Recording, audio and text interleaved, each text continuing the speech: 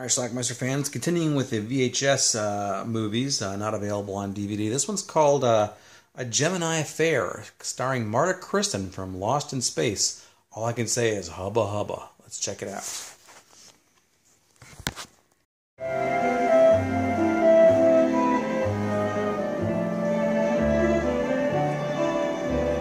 First time in LA? I always had two ambitions. It's Marta to be Kristen. In New York and I just flew in from New York. Visiting your family? No, friend. I haven't seen her in years. You don't look old enough for years. We grew up together back in Duffy, Indiana. So, a cab driver takes her to her friend Julie's. Julie! I'm sorry, Jessica. Julie! Julie's Jessica! Jessica! Marta Kristen. You look fantastic! Why'd you take a cab? I wanted to meet you. I didn't want to trouble you. Trouble? Your hair's lighter. Julie's impressed. It's it's just it's too dark. Oh wow! You've got a pool, a real live pool. Things aren't exactly as they seem, my though. life is Herman, because he never wants anything. Jessica's not as famous and well off as Julie thinks. But I have a lot of temporary friends who take care of me. Read between the lines. Prostitute. Oh, I see. Julie, you know men love to spend their money. Well, I figure as long as they're spending it, why not on me? Hmm. Julie's going in for a screen oh, test. I already called a cab. Oh, I just wanted to talk. So talk. What if the test isn't any good? What if they don't like me?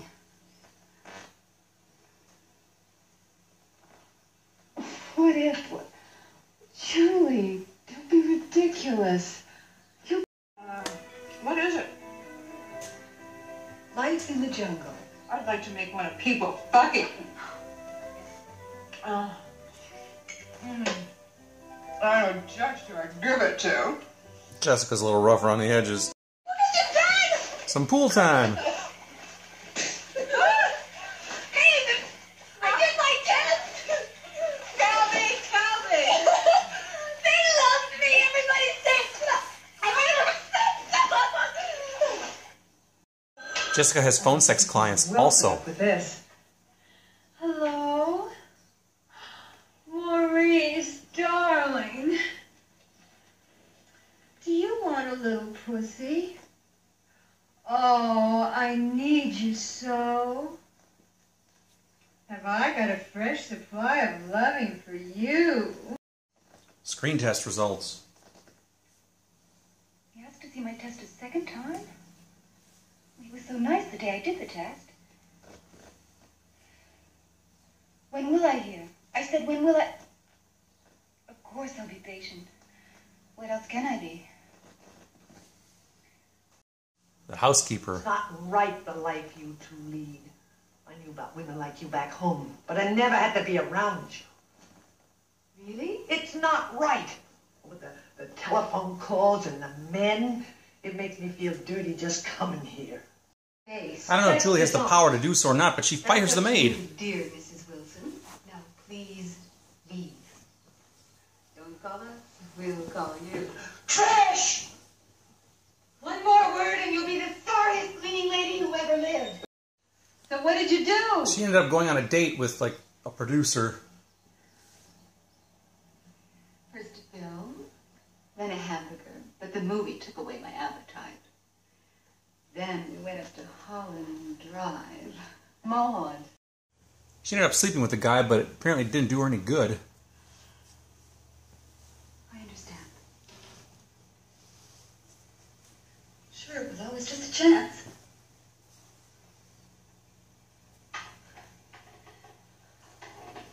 So here I am. I know you're the best. Jessica calls in Inez, a new agent. My friend says you're the best too. Doesn't your friend talk? I don't know what to say. Go along with the times. What do you mean? Anything goes nowadays. Uh, have you ever worked nude? No. Would it bother you? It depends. Julie gets delusioned with Hollywood and she's running out of money. She has $50 left to her name, so she decides it's time to go back to Indiana.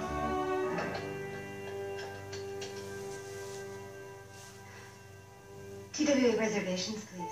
Again. Jessica, She doesn't want her to go. I don't need any more cheery little bits of advice from you. I've called him all I'm going to. The only thing left to do was to fuck him. Well, why didn't you? That's your trade, not mine. I smell a cat fight coming. I called that one.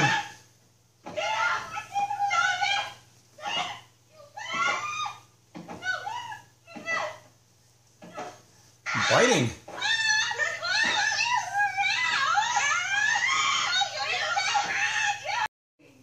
Wait a minute. They kiss and make up.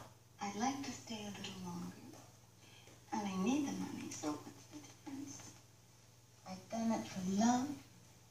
I've done it because I felt sorry for the guy. I've done it because I wanted it. So what's the difference? I'll do it for money. Prostitution. Here she goes. An intimate drink. Then we go to the hotel, and when Woody's so horny he can't stand it anymore, he'll say, Jessica, it's just about that time, darling. So there you go. Double date. About that time, darling. Mm-mm. Two rooms or one? Come on, Woody. All right. Jessica does sleep with the guy, but then she starts crying afterwards.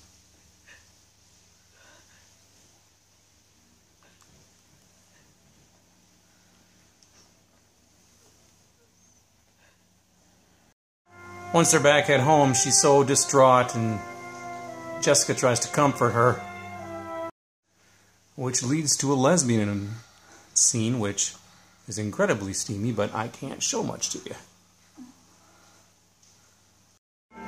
After they make love, uh, Julie freaks out about it, gets dressed, and just charges out of the house.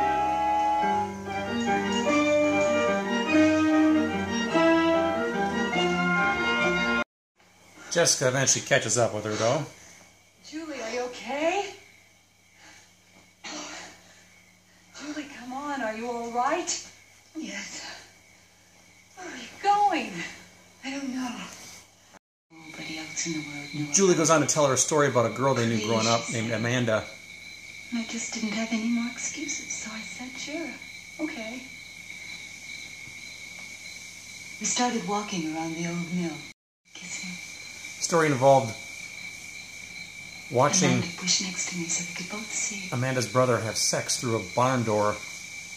She started moaning almost before he touched her. Low and soft. He was so big. It was the first time I'd seen a man, and I really started to feel funny. I was embarrassed that Amanda was there watching me. Crazy. Oh, Lord. It turned into a lesbian I heard someone else En- moaning, encounter. and I realized it was me. with Amanda.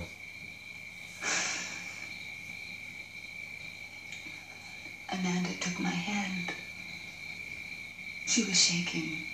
Maybe I was, I don't know, except everything was happening at once. When they started to climax, I felt Amanda's hand on me.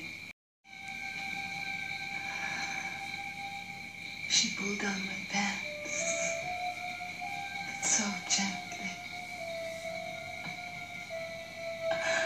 I couldn't control myself. Hey, wait a minute, Julie. What happened just happened. I didn't do you, and you didn't do me. And Julie, you don't have to run away. Huh?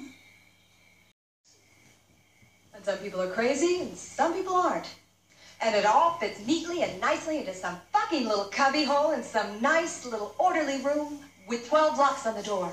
And when two women fuck each other, they must be bullseyes. Oh, everybody knows lesbians seduce each other. That's what it says in the fucking magazines. That's sarcasm. Anyway, Jessica now has a date set up to take her to Dragging Vegas. me along to the airport. Oh? Woody said hello. Hi to him. He wants me to meet him in Vegas tonight. Oh? He's got some meetings, but they'll be over early. When I get back, I want you to be the biggest star in Hollywood. You just have a good trip. And she can pull that off in two days. If it's really nice there and you want to stay a few extra days or more, I'll be fine. But the next day, she decides to take a cab and leave. And guess who her cab driver is? Our old friend George Buck Flower. Fucking son of a bitch, you could have killed us both! I'm sorry, man. My wife always tells me I got a garbage mouth. I know it ain't right to cuss in front of ladies. Honest.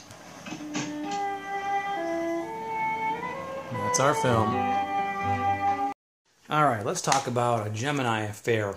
It's a movie that I originally um, had on a beta. No, sorry, it was a VHS tape. I rented it from a place called Vid Video in Two Rivers, Wisconsin, um, back around summer of '89, maybe. Um, don't know if I ever watched it at the time, and maybe I saw part of it. I don't know, but I ended up seeing it years later uh, when I retaped it, and um, it's actually not a bad film. Um, it's probably most remembered for, if it's even remembered at all, for Marta Kristen, who was uh, one of the daughters on TV show Lost in Space in the 60s. She plays uh, Julie in this movie. She's the star of the film.